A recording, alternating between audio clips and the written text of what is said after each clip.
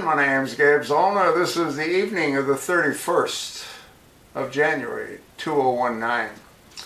Posted a couple of videos on Kamala Harris, and uh, one of them talked about her parents. Her father came here in 1960 from Jamaica, and her mother came here in 1961 from India. And what's been reported is that, well, they didn't become citizens until five years later.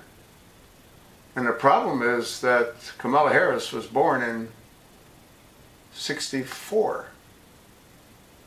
So would that make her an anchor baby? Don't know what their status was. If they were here illegally, then she would be an anchor baby. Wouldn't that be something? If in fact she was an anchor baby, and if nobody cares, and if she becomes president, she'd be the first female anchor baby president. Gonna have to do some more digging. Again, I don't know when her parents became naturalized citizens. Don't know if they ever became naturalized citizens. They might have eventually received immigration status, legal immigration status. But how long were they here illegally?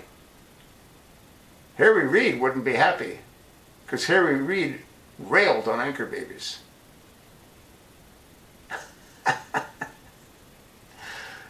well, be interesting.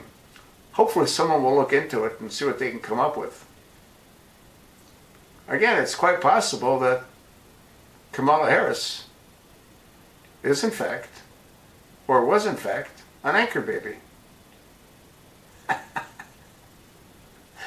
you can't make this stuff up, can you?